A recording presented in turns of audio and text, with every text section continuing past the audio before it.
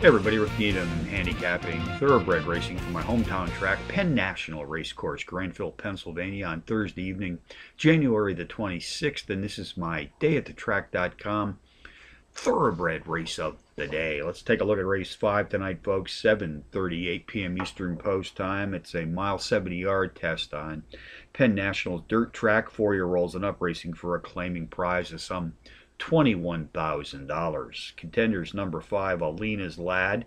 Number one, Lack Valentine. Number seven, Code Blue. And number three, Awesome Mitch.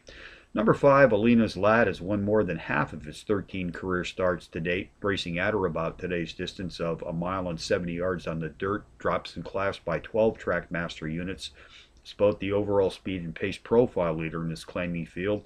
He's turned in power run performances in five straight starts, hitting the board in four of those adventures, including a trio of power run wins being embedded in this recent streak of racing consistency.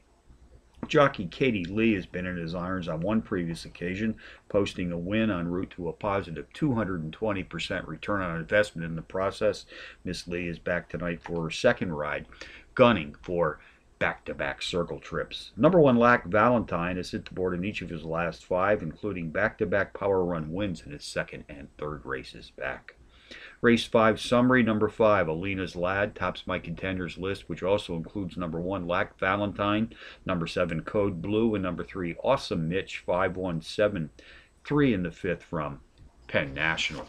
Some bonus long shots for you to ponder. Let's stay right here at Penn Nat. Race 6, number 8, Please Sir, a 9 to 2 shot. Won 5 of 8 in his career to date, sprinting at 6 furlongs on the dirt. Nice overall speed for this 6 furlong sprint. Turfway Park in Kentucky, race 5, number 1, Star Sheba, an 8 to 1 shot. The speed leader in this field, sprinting at 6 furlongs on Turfway's cushioned dirt track. So from Penn National on a Thursday night, Rick Needham for dayatthetrack.com reminding you as always to please bet with your head, not over it.